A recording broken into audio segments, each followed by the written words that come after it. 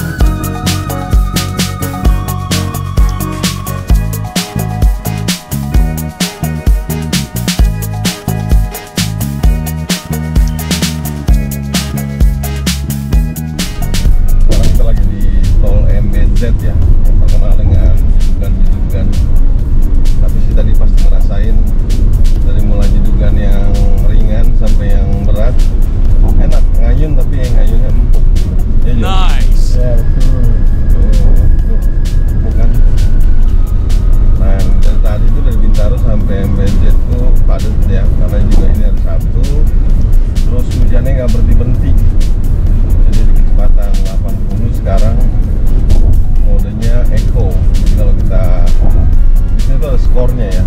Dia tuh mendeteksi kalau misalnya kita cara nyetirnya kita itu irit bensin atau kencang atau karakternya seperti apa.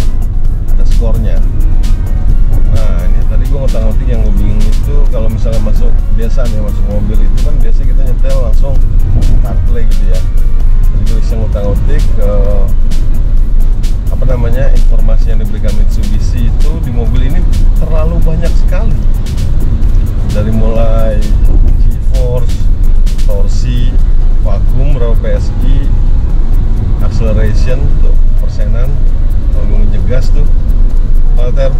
ya TPMS itu kita sangat perlu sekali. Bahkan injeksinya coolant-nya brake-nya setirnya G-force gitu. sampai keterangan eh, ketinggian. Tadi di ketinggian berapa? Nah kalau gue sih termasuk apa ya konvensional gitu. Gue juga jarang gunain apa namanya control ya. Ini kan masih cruise control level 1 ya. Jadi dia tuh nggak bisa mendeteksi mobil gitu. Kita harus ngerem. Kalau di HRV itu kan udah level 2 jadi dia tuh udah otomatis mendeteksi ada kendaraan di depan gitu ya. Tapi karena emang gue suka nyetir jarang gue menggunakan cruise control ini. Kecuali memang kita mau ke Bali gitu ya tol untuk menghemat energi gitu. Kita menikmati dengan cruise control feel berkendaranya nih bisa gue sebut juga driver oriented ya. Nah mobil ini tuh jujur gue sampai pusing sih terlalu banyak informasi ya. Bagi yang suka hal-hal seperti ini sih seneng banget. Karena informasi yang diberikan itu banyak sekali. Tapi Nice. kalau gue jujur udah nyetir aja gitu. Lebih seneng ngerasain feel-nya. Masuk langsung pasti CarPlay gitu. Tadi dengerin lagu Pasben ya. Pasben keren banget Pasben itu album lama ya. Jadi terasa hujan. Nggak berhenti ini kayaknya sampai Bandung juga hujannya nggak berhenti gitu. Tapi kita mau nyoba eh, istriku menyetir kali ini nanti. Jadi di rest area dia mau nyetir di tol. Karena kemarin untuk dal- dia hanya nyetir dalam kota aja oh iya tadi gue nyoba 0 ke 100 tuh tapi nggak dihitung ya mungkin sekitar 10-an karena kita ada empat orang di sini dengan barang banyak di belakang. Tapi akselerasinya itu karena karakternya CVT jadi dia kayak ngaung gitu. Hmm, baru dia jalan gitu. Tuh. Memang bukan diperuntukkan untuk cepat ya eh, mobil ini tapi diperuntukkan buat adventure menurut, gua sih. Yang bosen sama aspal gitu mau adventure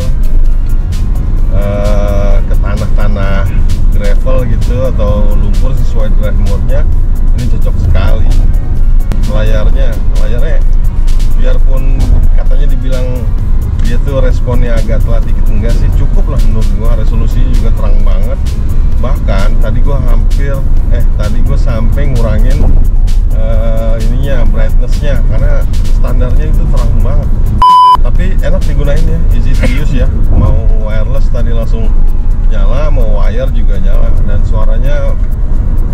tapi lebih enak sih saran gua pakai kabel. Itu lebih enak suaranya oke kita otw Bandung kita mau ke rest area dulu ya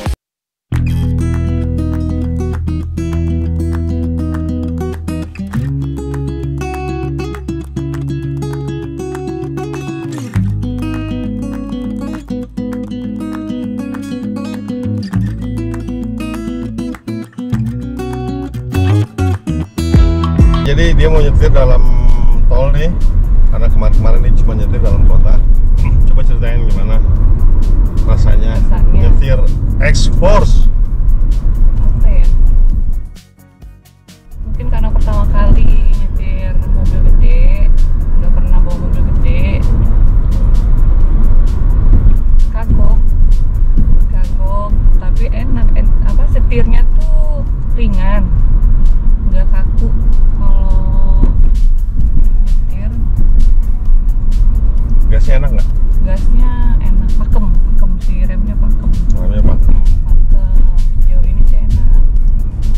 kan ini joknya agak tinggi. Pasti kamu suka deh. Iya. Soalnya kebanyakan cewek nyetirnya gini kan? Iya bener. Ya enak ya? Enak. Terus? Terus apa lagi ya? Gede, gede, bagasinya luas, tadi nyimpen barang-barang banyak. ininya suka nggak? Tampilan apa namanya? Suka, suka. bagus ya? Bagus. cerah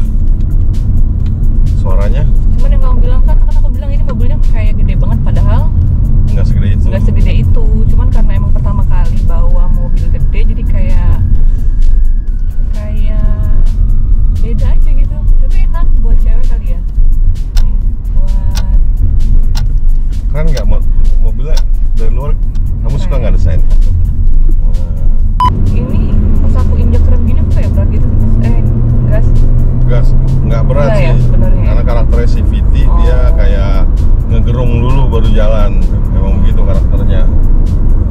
Tuh terus ada di belakang tadi joknya bisa mundur bisa ya? dimundurin bisa dimajuin jadi lebih enak. Sama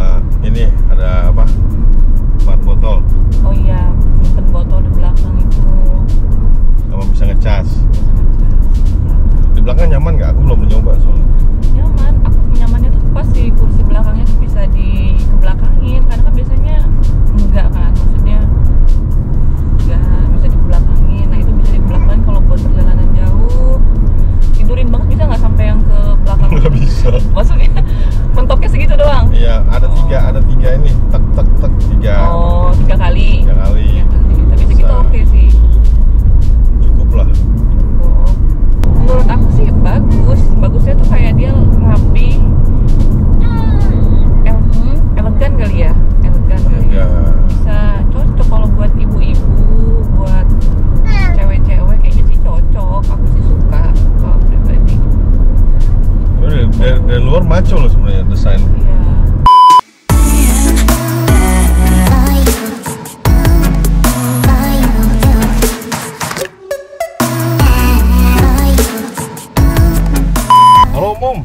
jadi kemarin gue udah ke Bandung dua hari semalam sama keluarga juga memakai ini. Gue mau tahu sensasi menyetir Mitsubishi X-Force ya.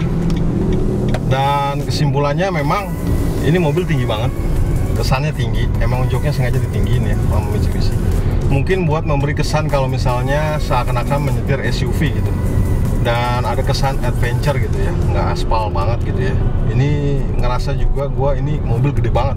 Padahal mah nggak segede itu gitu dimensinya. Uh, terus luar biasa memang dapat banget adventure-nya. Wheelbase-nya juga radius putarnya nggak jauh ya. Enak masih enak nih. Biarpun mobil gua sekarang itu Mazda 2 yang memang lebih wheelbase-nya lebih pendek terus uh, radius putarnya juga lebih pendek. Tapi ini mobil bener-bener nyaman enak dapat banget.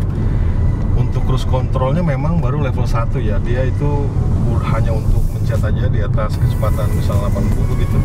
Setelah kita ngerem udah hilang gitu cruise controlnya. Tapi memang jujur gue tuh tipe orang yang suka nyetir.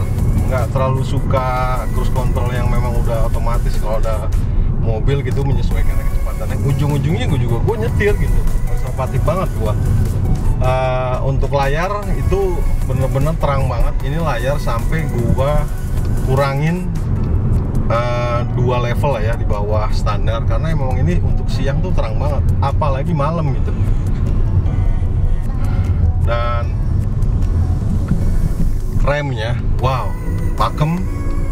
Gasnya enak gasnya 0 ke 100 gua sangka di atas kertas kan ini itu di bawah HRV di bawah uh, Mazda 2 ya? Eh CX2 di bawah uh, MG ZS tapi 0 ke 100 gue coba wow ternyata lebih cepat.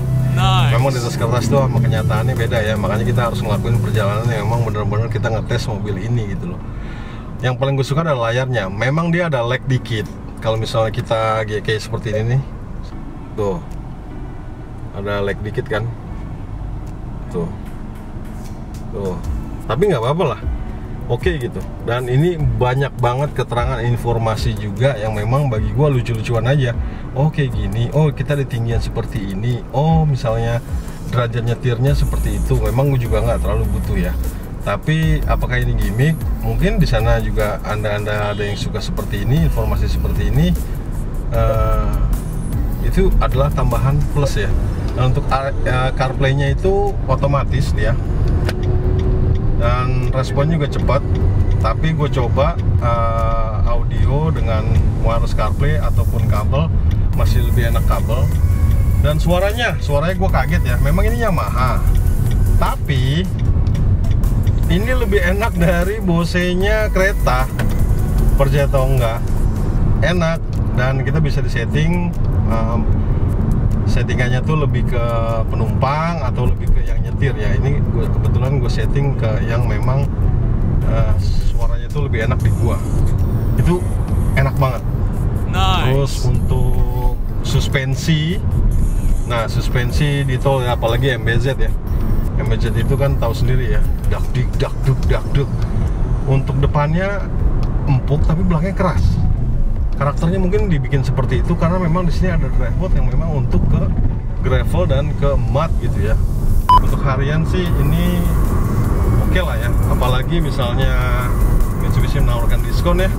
Biar harga kompetitif dengan pasar yang gemuk sekarang di compact SUV mungkin tertarik untuk memilih ini. Tapi gua rasa sih mobil ini itu untuk orang-orang yang memang karakternya sedikit mau berpetualang lah. Nggak yang nyaman mulu main di aspal atau mementingkan sunroof atau adas mungkin. Uh, mode manual yang memang seneng sedikit ke gravel mungkin atau ke lumpur-lumpuran gitu. Dengan desain yang memang juara banget sih ini menurut gua. Dengan 420 juta mungkin diskon-diskon apakah kompetitif? Komen di bawah. Thank you banget ke Mitsubishi yang sudah meminjamkan mobil ini. Jangan lupa subscribe dan likes. Ingat gaya itu keharusan mobil itu pilihan. Gaya otomotif